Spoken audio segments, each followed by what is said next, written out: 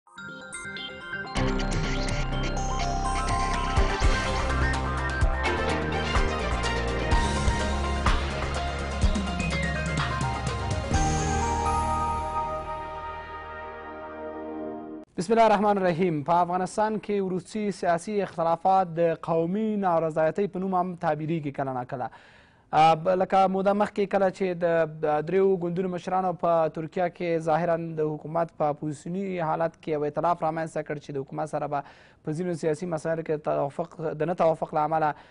د حکومت سره مخالفت ولري هغلته هم ځینو غربي رسنیو داسې مضمونونه خپاره کړي وه چې ګواکې دا یوه قومي نارضایتي مسله ده چې یو شمېر قومونه ځان په حکومت کې نه ګوري او بیا هم ناراضه دي او دغه یې مشران دي چې هلته سره اعتراف کړی دی تر هغې ورادې خواته بیا په ځینو غونډو کې ځینو مشرانو ویلي چې ګواکې حکومت کې هغه قومي تعادل او توازن له منځه تللی دی او دا دې لامل شوی دی چې که احیانا دغه بیرته ترمیم نشي دا مسله دا بیرته په یو ناورین واوړي او دلته یو قومي نارضایتي رامنځته شوې ده پرون ولسمشر دغې مسئلې ته اشاره درلودله چې د قومي نارضیتي بحث یو پیچلی بحث دی او دا په افغانستان کې موږ نشو نفي کولی ولې اساسي پوښتنه دا ده کوم څه چې د مخالفتونو په توګه را برسېره شوي مثلا ښاغلي محقق تېره ورځ ویلې چې ګواکې دوی به داسې اقدام وکړي چې نړۍ به حیرانه کړي د حکومت سره مخالفت کوي غوښتنې ونه منل شي یا دغسې د ښاغلي نور یا ښاغلي دوستم یا د ځینو نورو حرکتونو چې د حکومت سره یا ښاغلي سیاف دا مخالفت کې چې کوم روان دی آیا دا رښتیا یو یو قومي رنګ لري یعنې قومي نارضایتي موجود دی یعنې هغه قومونه یا ولسونه دي چې ناراض دي حکومت څخه او انعکاس کړی دغه رهبرانو په څېره کې او یا دا یوازې انفرادي او فردي بحثونه دي چې دوی د شخصي ملحوظاتو له مخې د حکومت سره په تقابل کې راغلي او یا حکومت سره سیاسي اختلافات پیدا شوي دي اوس دوی د حد اقل د قومونو استازتوب کولی سي او که نه او یا هم قومونه په دغه مباحثو کې اصلا دلچسپي نه لري او تر دې وراخوا دوی یوازې د شخصي ګټو دپاره دغلته په چانهزنۍ بوخت دي سلام وخت مو خیر تودو بحثونو خبرونه زه میرویس څانکزر ته وړاندې کوم درې محترم مېلمانه په دې مسله را سره بحث وکړي د ملي مشارکت د ګوند مشر ښاغلی نجیب الله کابلی د ولسمشرۍ پخوانی سلاکار ښاغلی شهزاده مسعود او د حزب اسلامي د رهبرۍ شورا غړی ښاغلی عبدالجبار شلګری په خیر راغلی ښه راغلاست کابلی صاحب شما مخالفت ها را میبینید اخیرا حتی هشدارهای مبنی بر اینکه گویا تظاهرات علیه حکومت سازماندهی خواهد کردن و مباحث دیگری که در این روزها بوی اختلافات سیاسی میده آیا میتونیم تعبیر بکنیم به گونه که اینا نمایندگی از یک قوم میکنه که گویا در حکومت محروم هستن و گویا اینجا یک نارضایتی قومی به وجود آمده و این باعث شده که رهبرای بعض از اقوام علیه حکومت اقدامات داشته باشند یا اینا تنها بر خاطر منافع شخصی خودشان فکر میکنن و اختلافات ناشی از اختلافات سیاسی منحصر به خودشان است نه قومشان بسم الله الرحمن الرحیم یا کنبد و یا سین من سلام خدمت بینندای تلویزیون شمشاد تقدیم میکنم همچنان دوست های بزرگوارم همچنان خود شما ببینین ما پیش از سیده هست که در جنگای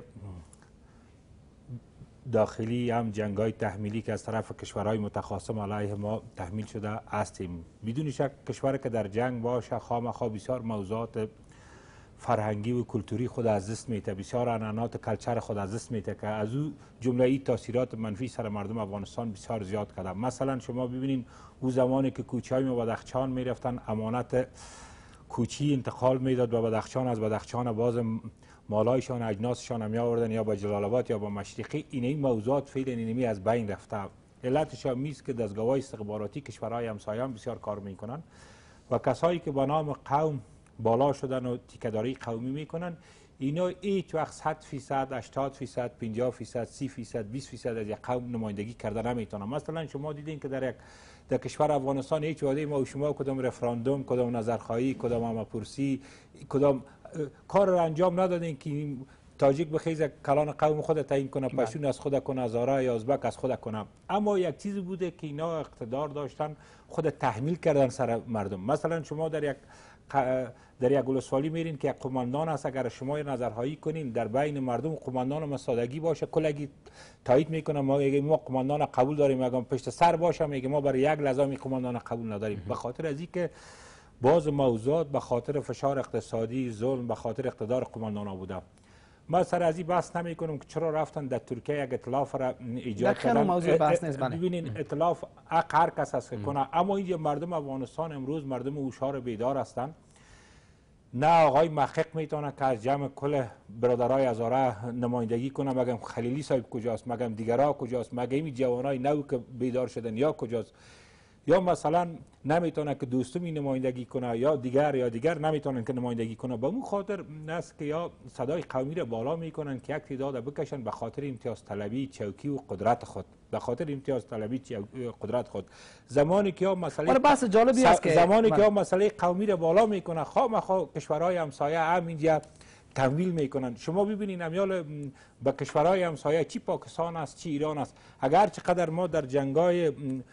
بین خودی و خود میمانیم من یک مثال کوچک براتان میتم امی انفجار که شد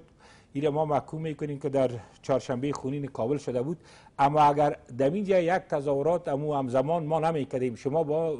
کلگی کار میکردیم سیاسون مردم افغانستان از هان مردم کلگی متوجه پاکستان ایران شده بود ما قصدن خواستیم که کل دنیا را پس متوجه خود بسازیم از سر پاکستان رسونش کنیم امی فعلا ما که در بین خود اگر این تظاهرات میکنیم تظاهرات های میکنیم به ضد نظام میکنیم گرچه قانون اساسی حق داده اما به مورد اگر میکنیم شما باور کنین که می فعلا که روحانی مسئله آب بالا کرده بعد حداقل ما خود تکان بتیم اگر ما آب افغانستان مهار کرده نمیتونیم آب یک سوجی ملی است حداقل میتونیم که توسط از این وحدت ملی را تامین کنیم ببینیم که مسئله آب در روزا که مطرح شده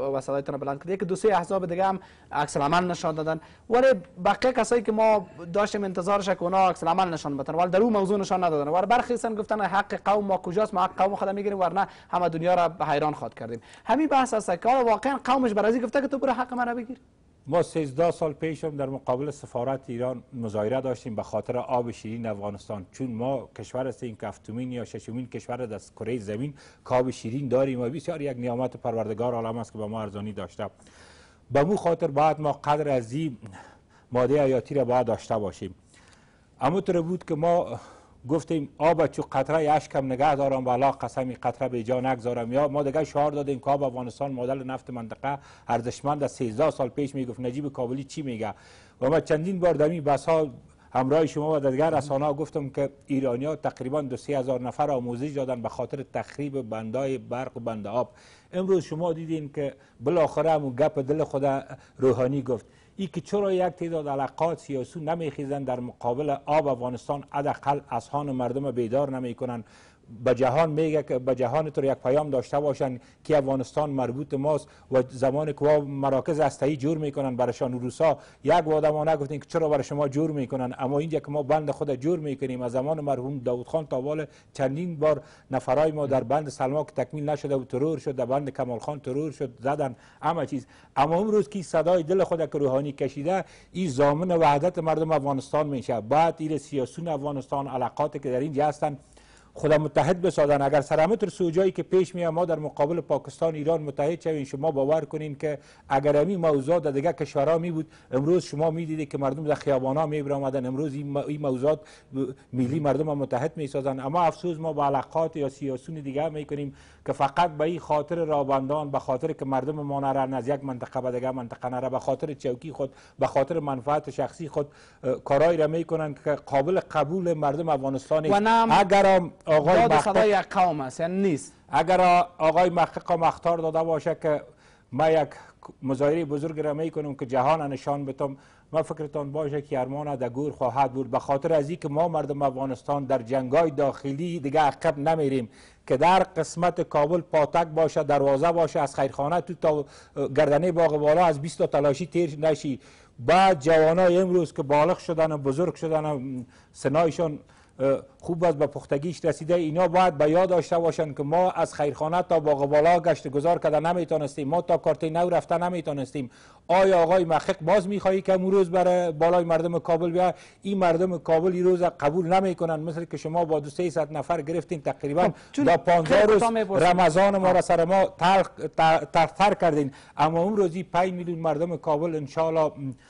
شاید که دیگه بله. امت شان شور بخوره شما را باز دوباره نمانه که در میدان به ای ارمانایتان برسید ډیره مننه سلامت اوسئ ښاغلی مسعود دلته کله چې دا بحث مطرح کیږي او کله چې بحث د بحران او ناورین خواته ځي یا داسې یو حالت ته ځي چې د چا یا امتیازات کم سي یا ډیر سي بلته دغه بحث راپورته کیږي ښاغلی ولی مسعود بحث درلوده ویلې چې قومي انحصار رامنځته شوی دی ځینې قومونه محروم شوي او دا توازن او تعادل باید رامنځته شي تر هغې وروسته بیا ولسمشر بېرته تقریبا ضمني ځواب درلوده دلته که تاسو هر قوم وګورئ پښتون تاجک ازبک هزاره نو هغه شکایت لري لکه د ټول وضعیت نه د انکشاف نه د متوازن انکشاف د مسایلو نه ولې دغه کسان چې غږ راپورته کوي مثلا وایي چې د یو قوم څه هم ډېر دی او د بل کم دی او یا دغسې یو بحث راپورته کوي چې موږ ناراضه قومونه یو د حکومت نه آیا رښتیا دلته د کوم قوم داسې حق خوړل شوی دی چې یوازې د هغه خوړل شوی او بیا دا دې لامل شي چې حکومت سره هغوی اختلاف کړي دا یو قومي غږ دی یا یوازې شخصي بحث دی چې یو چا راپورته کړی د خپل امتیازات دپاره بسم الله الرحمن الرحیم ستانکزی صاحب تاسو ته جناب شلګری صاحب ته او جناب کابلی صاحب ته او د تلویزیون ټولو کتونکو اوریدونکو ته سلامونه او نیکې هیلې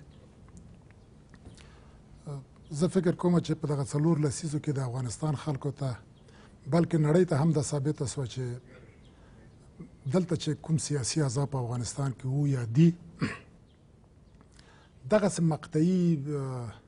کارونه دوی همیشه کړي دا نوې نوې خبره نه ده او حق هم ده اطلاف کړل دا د دوی خپل مسلم حق ده لیکن دغه تجربه د افغانستان خلکو ته وشوله چې دغه عذابو چې همیشه اطلافونه کړي دي مقطعي او ډیر کم عمر درلود بیا مات شوي دي او هر افغان په دې باندې پوه شوی دی چې کله د دوی ګټې په خطر کې شوي دي شخصي ګټې البته نه قومي ګټې شخصي ګټې یا تنظیمي ګټې په خطر کې شوي دي، بیا نور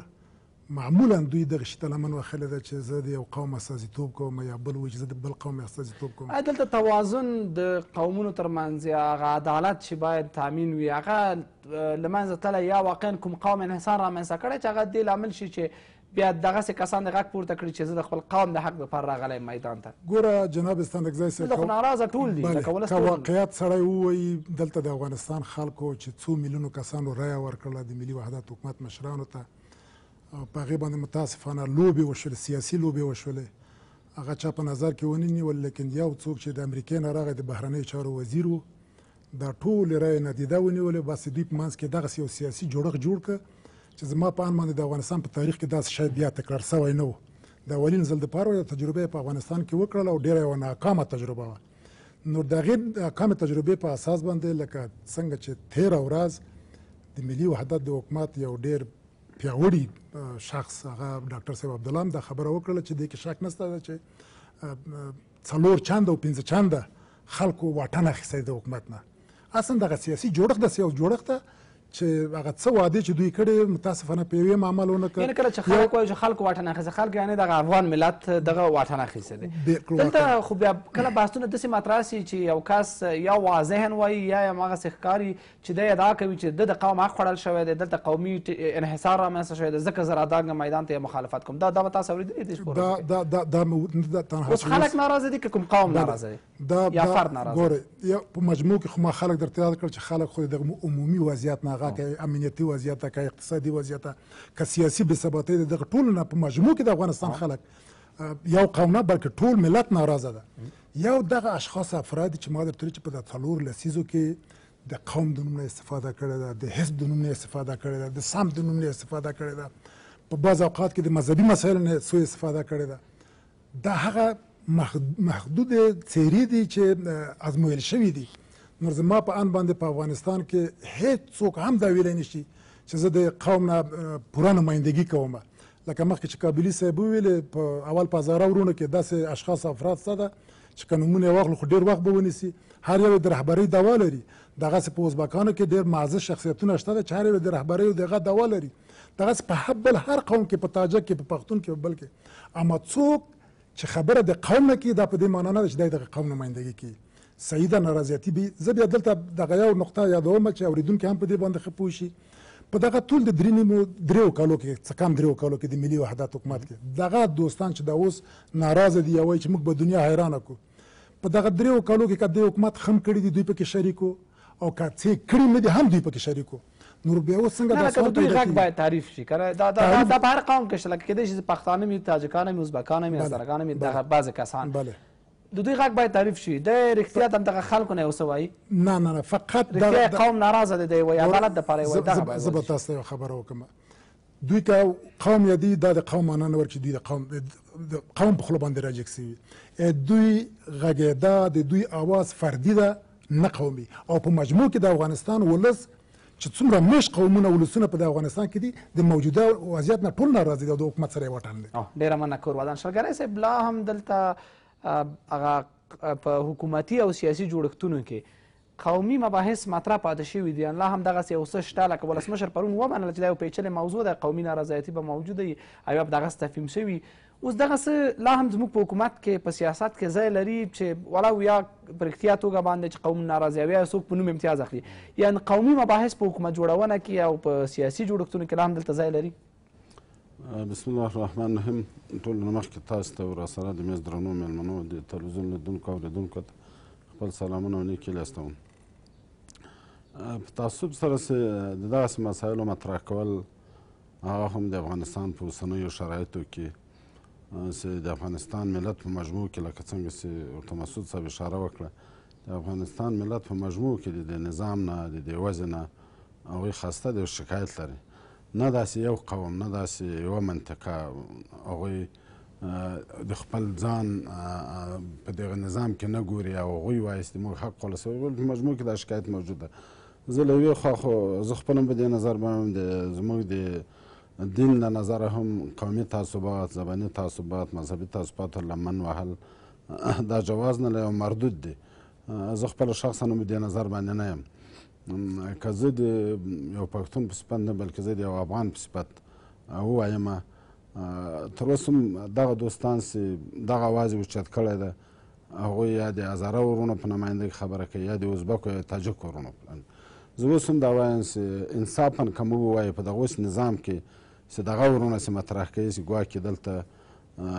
قوم پرستی د نظام د یوې ډلې د یوې ډلې خلکو په لاس کې ده هغه پښتانه یې منظور دي زه اوس هم وایي که په افغانستان کې محروم دي ځپل سوي دي او اوس د هغوی حق خوړل کېږي هغوی اوس وژل کېږي هغه پښتانه دي سره دې زه به دې عقیده باندې نه یم د قوم بنا باندې نه یم د افغان په صفت باندې وایم چې اوس هم پښتانه ځورول کېږي زه د تعجب خبره دا کوم هغه څوک چې پنځه میاشتې مخکې په دې نظام کې مطرح وو قدرت یې درلودل، چوکۍ یې درلوده، هغه هیڅکله له خولې دا نه راوتل چې دلته باید یا قومي تعادل نه د مراعت شوی یا د یو قوم که واضح ووایم احمد ضیا مسعود په دې نظام کې برخه درلوده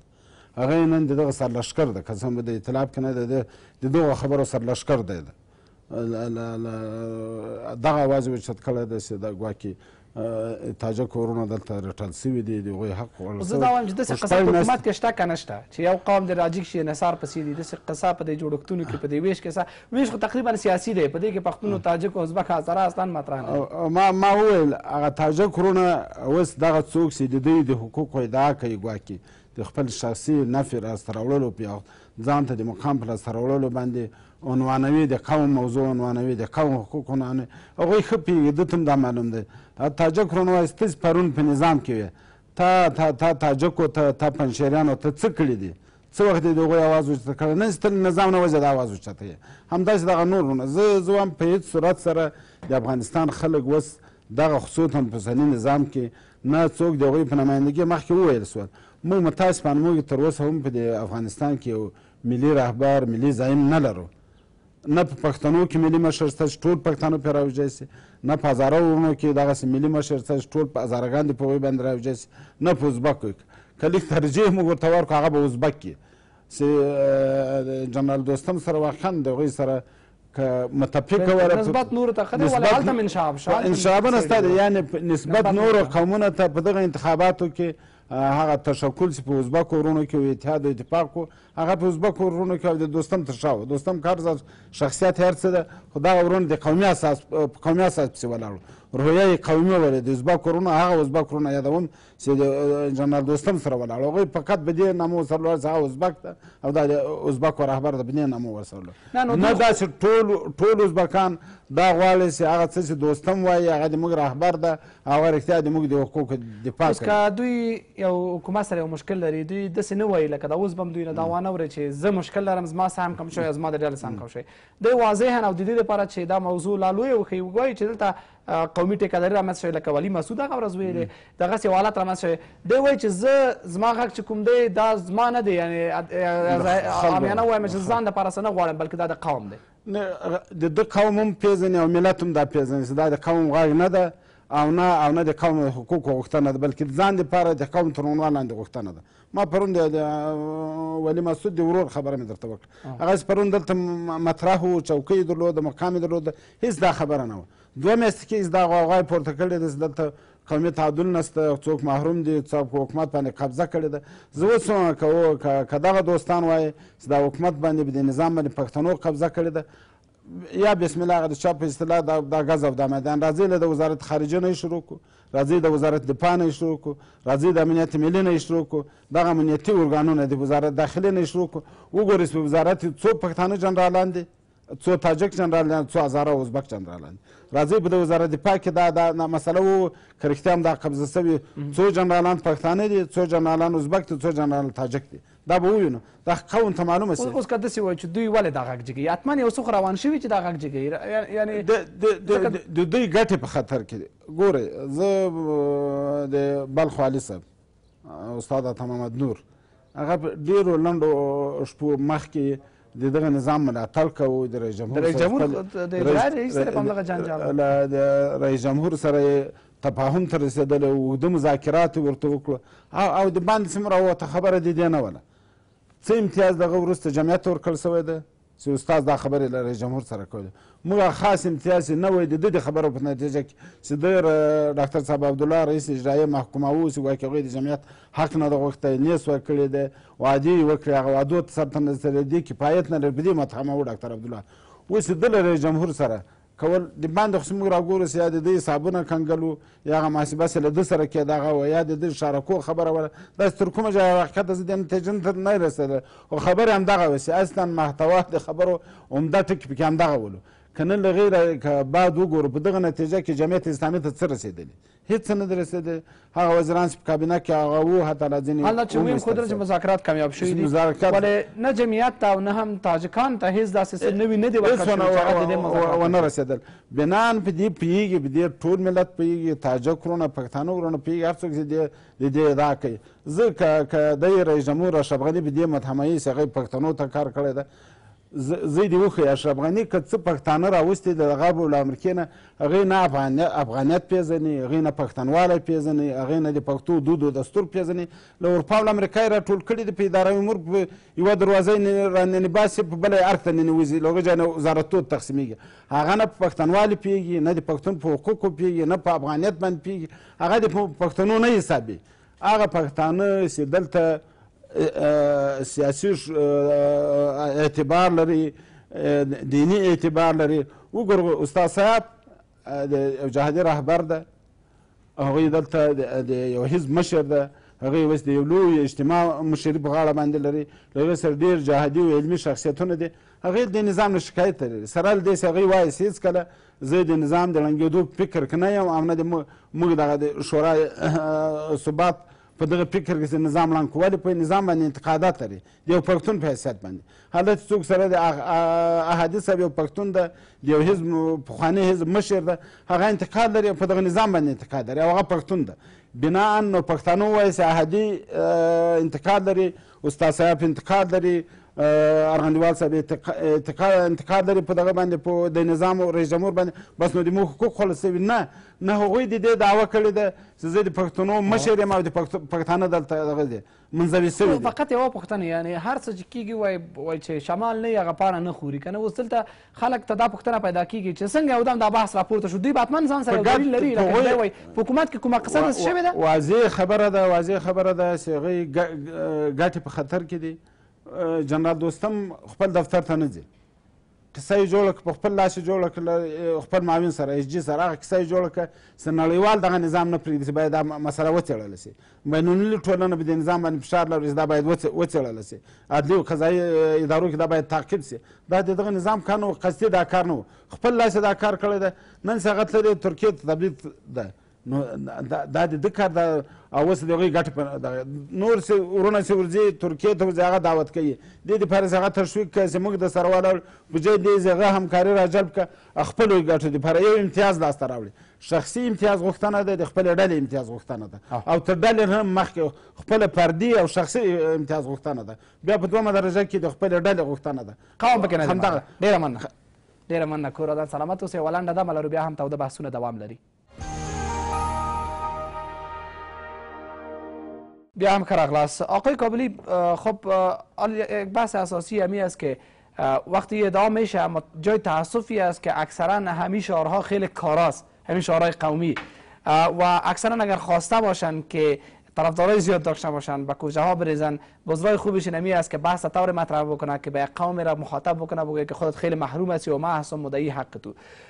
و چیزی که شما قبلا گفتن که ملت فهمیده متاسفانه این چیز خیلی واقع چیزی نیست که خیلی با واقعیت نزدیک باشه همین از اون وقت صدای قومی را رهبرا بلند میکنن و میگن که من مدعی حق فلان قوم هستم در حالی که وقت در قدرت بودن نبود باز اون قوم میره بخش از اون قوم میره در کنارش استاد میشه و فکر میکنه که واقعا اون به حقش داره دعوا میزنه حال بحث پرسش اساسی است که چرا هنوز هم در مردم همی شعور سیاسی به این حدش نرسیده که درک بکنن که هرگز بر از اینا قوم مطرح نبود آقای شلگره گفت وقتی که اونا معامله کردن گفتن ما با حکومت در این مورد تفاهم کردیم هیچ سهمی به قوم تاجک اضافه نرسید از طرف آقای نور ولی به خودش بعضی مفادات رسید حال بحثی است که چرا مردم هنوز هم شعور سیاسی در این حد نیست که درک بکنن که واقعا رهبرایشان رهبرای اینا نیست ببینین به تایی دیگه به شما ما مردم افغانستان در یک وضعیت نرمال قرار نداریم همین که من پیشتر گفتم که یک قماندان اگر اقتدار داشته باشه ولو اگر مردم از اون ناراض هم باشه به خاطر اقتدار پولش باید تو را تایید کنه اما تو را میره برای فعلا که شما قومی میبینین اینیا پول پیدا کردن زور پیدا کردن از نفوس پولی خود زیاد کار میگیرن اگر شما ایره یک نظر خواهی آزاد پرتین هیچ کار را کرده نمیتانه امروز مردم مردم ما بیچاره است مردم ما غریب است مردم را که شما ببینید به 200 افغانی کار پیدا نمیکنند اگر شما وعده ای که 10 لک افغانی را شما بگیرین جه تزریق کنین میارین 10000 نفر را در این خیابان میریزانین ای یک علتش هم امی است دو که ببینیم مسئله استاد محقق زمانی که استاد محقق خودش چند وقت پیش آمد از اشرف غنی تعریف کرد و دفاعش برآمد یک مقدار امتیاز گرفت اما زمانی که استاد خلیلی را گرفتن شورای صلح داد اتومات پس رفت یعنی در افغانستان به خاطر امتیازگیری هیچ وقت نبودن بعد از مسئله که عبدالله مزاری نبودک این دو نفر هیچ به هم جور نامدن اگر استاد خلیل یک طرف می گرفت استاد محقق دیگه طرف می گرفت مثلا فعلا که استاد خلیل پس آمد شورای صلح گرفت اتومات محقق جای خود پیدا نکرد به خاطر که محقق بخیلی میکرد میگو بعد بعد استاد خلیل در شورای صلح نبیا اینمی زد بندای خودشان است که مردم در چالش میکشه در ضمن از خود نظام فیلیام کس ضعیفی در کجاست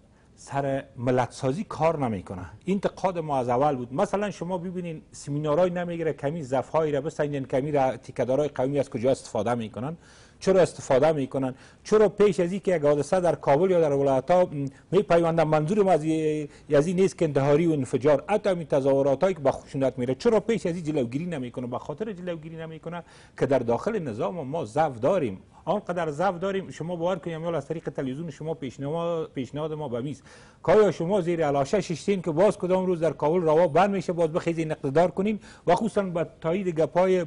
اردو دوست ما ای کاش که اول فعلا احترام که به دکتر صاحب عبدالله هم دارم به رئیس جمهور هم دارم ای کاش که اول وزیر خارجه امریکا نمی آمد تیار گری نمی زد به هم به نام حکومت وحدت ملی کاش که دکتر صاحب عبدالله رئیس جمهور می بود و افتخار والا به وطن کار میکرد یا یکی خود اشرف غنی می بود ما خب به این نتیجه رسیدیم که در دوره از یا غیر از امتیاز طلبی و کار طلبی و غیر از که یک سیستم یک سیستم پیش میره که مورد قبول مردم افغانستان نباشه ایره بخوای نخوای به می وضعیت که ما و شما هستیم وضعیت تکمیل میشه اما اما فشارا را که میبینه مردم عادی افغانستان میبینه ای کاش که بچه محقق میبید بچه فلانه قماندان میبید بچه نجیب کابلی فشار میدید خب امروز هر فشار اگر شما سرک هم بند میکنین فشار مردم آقا میبینه اگر شما هر مشکلات که بالای مردم افغانستان میاری شما بچه‌هایتان در خارج تحصیل میکنه اکمالات هستین از وضعیت خوب برخوردار هستین شما در ساوای بانگیتان میلیاردها دلار است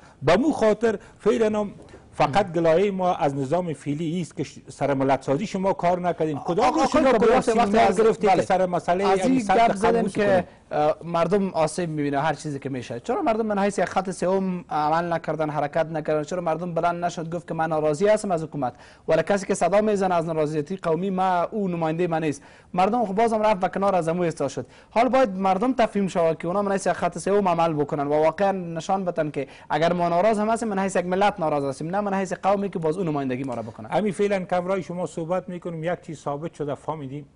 که دیگه هر کسی که از نام سمت قوم نمایندگی میکنه ای بخوای نخوای ولو کی حکومت اعلان کنه نکنه ما از اعلان کنیم نکنیم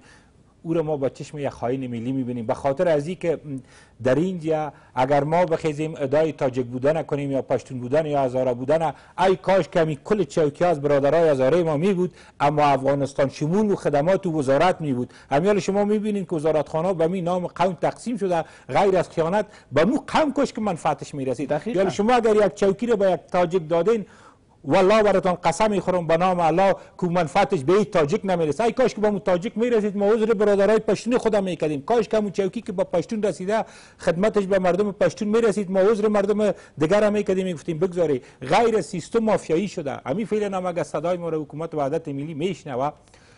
شما یک بار به خود بیاین یک ذره در امی در امی نظامتان هم دیسیپلین پذیری را تطبیق کنین یک وزیر اکبر خان امروز ما میبینیم 3000 نیرو خو است در دان خانه ما هم دو نفر پیدا میکنه در دان خانه از یام در دان خانه از یام با 1000 نفر که از بیرون میآید ما بسیار خوش هستیم که 1000 نفر از خارج میآید اما در اینجا ما نمیتونیم که یک قسمت به خود امنیت شو بیاریم امی امی مشکلات داریم و فعلا صدا کردن مسئله سمت قوم بسیار یک خیانت بزرگ است امروز امسایا امروز امروز امسایا در کمین تان است امروز تعداد مردم آموزش میته امی بند را کندستان برای ما ساخت کمک ات کمک های بلی آواز امی بندای کیال ساخته میشه مسئله پایپلاین گاز است امروز نه تنها ایران ایران و پاکستان در کمین است که تخریب کنند امروز تنها نمیخواهند که اشرف غنی یا نظامش تخریب کنند مردم افغانستان را تخریب میکنند مردم افغانستان بیدار و بیدار و هوشار باشند اگر من عجیب کابلی با می دو تا دوستایم که اینجا هستیم اگر ما مسئله سمت قوم مطرح میکنیم شما باور کنید که ما خیانت ملی میکنیم همینجا جا داره اینا شما ببینید که ما از جناب استاد سیاف طور تشکری میکنم که مریضم شد در مریضیشم رفتن نتونستم هم یک چیز به صفت یک رهبر اگر انتقاد داره امروز در سرکا نبر آمده پیشش فقط ثبات افغانستان است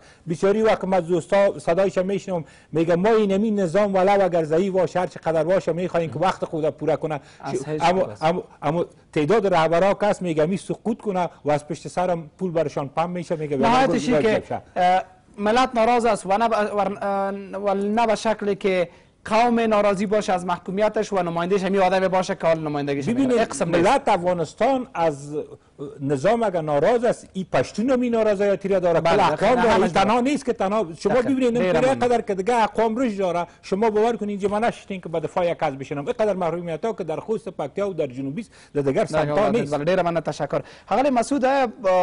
یو قوم په دې خوشحالېږي او راضي کېږي چې ده ته د معاون او وزیر معین ورکړي او هلته چې کس کېني ورته لکه کابلي څه ویل چې بیا هغه بېرته ورته خدمت هم ونه کړي او یا په دې خوشحالېږي چې ولایت ته خدمات ورسېږي خلکو ته خدمات ورسېږي متوازن انکشاف واوسي که خبره په دې چې مثلا ښاغلی محقق دې نه وي یا ښاغلی نور دې نه وي بیا تاجکان خفه شي یا ښاغلی اتمر دې نه وي پښتانه خفه شي یا ښاغلی محقق دې نه وي تاج هزارګان خفه شي یا ښاغلی دوستم دې نه وي ازبکان خفه شي یعنې واقعا قومونه په دې خفه کېږي که په دې خفه کېږي چې هر څوک دي لکه کابلي صاحب چې ویلی ټول د هزارګان وي ټول د تاجکان ټول د پښتانه خو چې خدمات ورته ورسېږي. خلکو ته هغه معیار او اصل څه دی؟ ګورئ، خلکو ته په تېر تاریخ کې که موږ دا تېر حکومتونه وګورو، د خصوصاً د پخواني پاچا نه یې راونیسه تر دې دمه پورې، د پخواني پاچا په وخت کې هم د سردار ما داود خان په وخت کې هم په حکومت کې به یو قوم زیات و. اکثره خلکو د خصوصاً د داود خان په وخت کې یا د اعلیحضرت ظاهرشاه په اخره دوره کې به یې ویل وایي وردګ ډېر دي وایي پکې، لغمانیان وایي ډېر دي پکې، وایي صدراعظمان هم د لغمان دي. اما هغه که مامورینو، صدراعظمانو، وزیرانو د ټول افغانستان په خدمت کې وو، د ټولو اقوامو په خدمت کې وو. دلته اوس بدبختي دا ده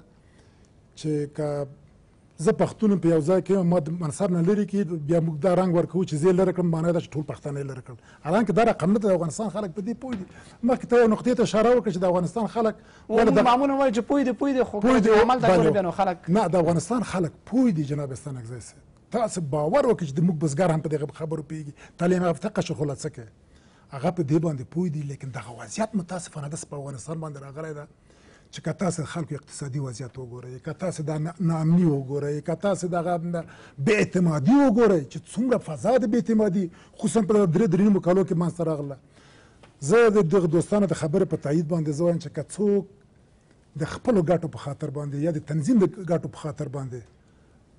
قومي مسایلو ته لمن وښي دا دغه ملک سره لویه جفا ده او دا جفا متاسفانه ځنه کسانو په خوا هم کړې ده او اوس که تکراري نو ملت بیا نور لاس تر زنه پورې نه کینی دا ډیر یو پیاوړی ملت په دغه ټول فقر او بیچارهګۍ مسکینۍ کې بیا به دا ملت دریم یو خط وباسي داسې خط به وباسي چې ورته وایي چې عذابو په ټول دغه څلوېښتو کلو کې هم څه نه دي راته کړي ټکهدارانو په ټول دغه څلوېښتو کلو کې هم څه نه دي راته کړي اوس به په دغه ملت کې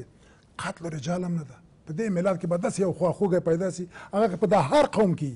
چې دا ټول ولس په هغې باندې راجمع سي خدای دې کې که ازبک وي که ترکمن وي که ازاري وي که هر څوک وي که پښتون وي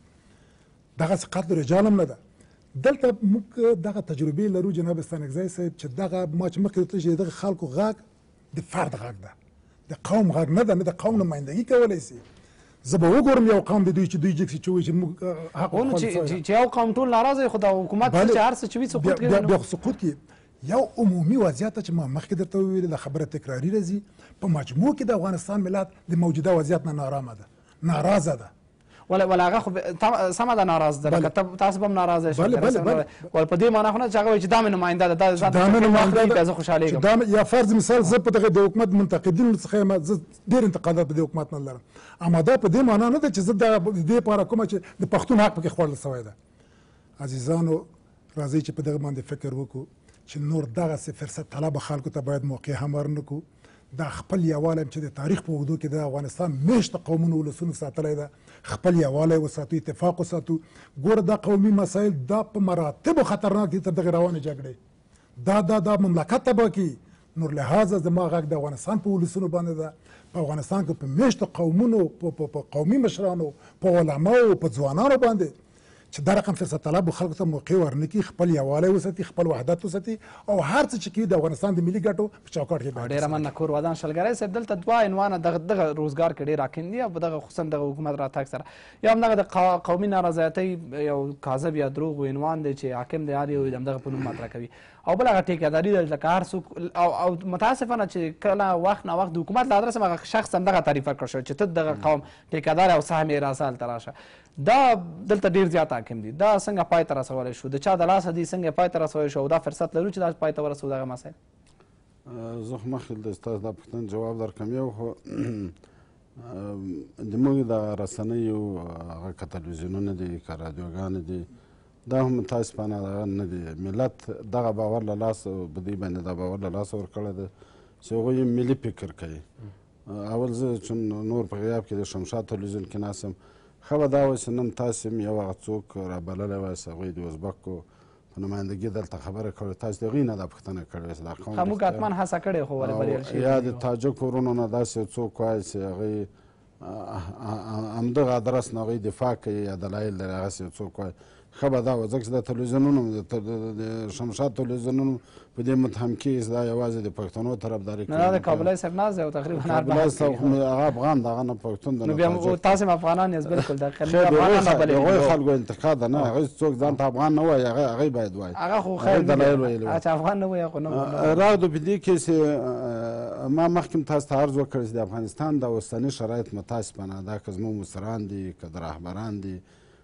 که دغه شخصیتونه چې یو اطلاف رامنځته کړی دی په دغو شرایطو کې دغسې خبرو ته لمن وهل یا دا راپورته کول دا د ملت په ګټه نه دي دوی په ګټه باندې نه دي سبا به دوی به دې خبره باندې پښمانه دغه دغه نور قومونه هم دلته دي دا ما مخکې وویل چې ټول هزاره ګان د محقق صالدغ محکوم سره موافق نه دي لوی اکثریت یې د دغه خبرو مخالف دی، لوی اکثریت یې د د هغو پېښو راتګ بیا په دغه کې په کابل کې خصوصا د کابل په ښار کې هغه په هیڅ کله باندې هغه نه تاییده لکه څنګه چې مخکې اول ور کابلي صاحب ورته اشاره وکړه چې بیا د څوک له له برچینه پغمان سرک ته نشته او څوک د له شمالي نه دغه ته نشته کارتینو ته نشته دغه حالت نه ازاره غواړي نه یې ازبک غواړي نه یې پښتون غواړي ګوري امرالله صالح یو وخت دغه رئیس و د ملي امنیت رئیس و زه یو وخت څو کم پارلمان کې هم کابلي صاحب موږ دوی سره هم صنفیانو یعنې بار بار باندې د افغانستان د جنګي شرایطو هغه شرایط چې دلته حاکم و موږ تایید کړی دی دې سړی ته هم رایې ورکړې ده دی په هغو شرایطو کې دا وړتیا پکې لیده چې دی باید رئیس د امنیت ملي شخصاً زه څوک چې ما ورته مثبته رایه ورکړې ده ځینې داسې کسان وو چې هغوی یې مخالفت کول په دغه ذهن باندې لکه دا اوس متاسفانه پکې بحث پېږي نن څه قیامت راپورته شوی د ستانکزی د ملي امنیت رئیس ته د دغو ورونو ځان ته رهبر وایي ځان ته قومي مشر وایي هغوی د افرادو سره راخیستې چې نه په ستانکزی د ایسته سي له منصب او چوکۍ نه یا د اتمر ایسته سي اتمر ګناه څه ده اتمر وایي چې دا حکمتیار کابل ته اتمر راوستی ده دا دا عنوان یې دا دی دی د شرم خبره دی ته نه ده که موږ په خوله وایو چې مخالفین دعوت کوو موږ صلح کوو باید مخالفینو سره صلح وسي جنګ د حل لاره نه ده ظاهرا خو دا ټول هم دا وایي د صلح نه هر څوک سره وځي اوله خبره دا چې موږ په افغانستان کې صلح نه حمایت کوو دغه کار که د اتمر صاحب په واسطه باندې سوی آیا دا ګناه ده دا خیانت ته دا باید تقدیر سي که واقعي معنا موږ سوله غواړو او که دوی سوله غواړي چې نه سوله د حکمتیار سره نه غواړو سوله د طالب سره نه غواړو نو بیا له چا سره سوله غواړي که هغوی نه غواړي د هغوی د اتمر صاحب ګناه دا چې حکمتیار راوستی دا خو د ملت خیر دا کار اوس دا د چا مسؤلیت اتمر اتمر د پښتون په صفت زه نه تاییدوم اتمر د دغسې ابتکار د دغسې وړتیا په صفت باندې تاییدوم هغې نه په حزب اسلامي کې ده نه زموږ دی ولایت ده هغه هم یو افغان ده باید ټول افغانان دې د مثبت کارونه تقدیر کړه که منفي کارونه هغه وکړه په تیر کې دا نه دي سوي ټولو تاجکو وزیرانو ته رایې ورکړل سوې هر پښتون ورته ورکړی دي وړتیا په بنا باندې خو دغه خبرې متاسفانه بیا بیا بیا د دوی په ضرر باندې دي بیا به دا ذهنیت را پورته کوي سبا به یو څوک راځي رئیس د امنیت ملي به او دا خو دغه د تاجک ده او دا خو هزاره ده دا خو هغه څوک ولسي چې د خپلې ګټې په نظر کې نیولې ویل د ملت ګټې نه نیولې دغسې ایتلافونه هم رامنځته کړو یو ورځ یې دغسې ویل یو ورځ په دوستم پسې هغه څه ویل کېدل بل ورځ هغه ورته هغوی سره ایتلاف کړل دغه ذهن په د اوس وخت کې دا خپرول د خلکو د ځوانانو په منځ کې دغه روحیه ورکول لکه اوس تاسو دغه درې ملمنو دغه څه ویل یا ولس چې ولس پوه دی ولس دوی پسې نه ځي دوی د ولس استازتوب نشي کولی دا د هیڅ قوم غږ نه دی کوم چې دوی وایي چې دا د فلاني قوم د ادرسه دوی غږیږي کله چې بحث داسې دی دلته ضرورت دی چې دغه مسله په سیاستونو کې هم ځای ونیسي لکه حکومت هم پوه شي چې دا دغه قوم غږ نه دی او که هغه واقعا غواړي چې قومي عدالت تامین شي هغه د بیا واقعا قوم ته سهم ورکړي هغه قوم ته د خدمات ورسي نه دا چې دغه کس چې د قوم په نامه راغلی اوس خو دا دا باید څنګه وشي متاسفانه چې د موږ نظام او دغه حکومت د دې وړتیا او دغه مدیریت نشي کولی چې کاش که دوی خدمات رسولي وای دغه د دوی خبرې د خپلو خدماتو په نتیجه کې دروغ ثابت کړی وای خلک له بلې خوا د موږ تاسو اوس هم هلته ظلم حاکم د مناطقو کې کابل ښار کې نه په مناطقو کې ظلم حاکم د ټوپک ساراري حاکمه ده زه زه زه یو څوک پېژنم زه تر موږ د غزني یو ولسوالي ته زه تللی وم اته نفره مسلح کسان د یوې ډلې غیر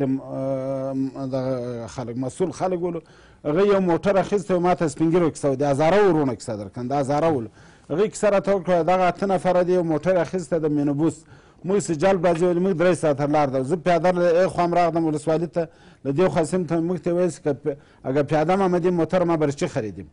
موتر خریدیم برای جلب کرایه مربیت سه سد از او طرف سه سد زی تر شست سد پاز ما گرفت ما از او طرف هم پیاده آمدیم از این طرف هم پیاده آمد خو دغه ټوپک سالار وس دلته ده دا دا نه ورته رئیس جمهور څه وایي نه ورته ډاکټر صاحب عبدالله څه وایي په دې نظام کې محبوب هغه خلک دي بناء دغه څه خلک وکړي هغه و مخکې کابلي صاحب ویل که څنګه رئیس صاحب ویل خو یو قومندان وایي چې دا تاییدوي خو هغه چې نه لري چې دغه نه استفراق کوي همدغه ما مثال درته ویل هغه د ټوپک په زور باندې حکیم د رایم په زور جنایت نه د حکومت مسؤلیت دی چې واقعا دا ټیکداري ختمه کړي ورته وښیي چې دا نه دی هغه څه چې تابعوي حکومت کې دغه مدیریت نه لري او نه دغه ظرفیت پکې ده چې دا ټیکداري ختمه ډېره مننه خیلی فرصت کوتاه داریم کابل صاحب یک دقیقه اول خب مردم افغانستان مطمئن باشه که محقق صاحبشان ترکیه رفتن زیر الیاف بیمار پای خود دراز کردن فهمیدی فعلا این نتیجه نمیته دوم دیگه همینجا شما ما یک گپ را صادقانه براتان میدانم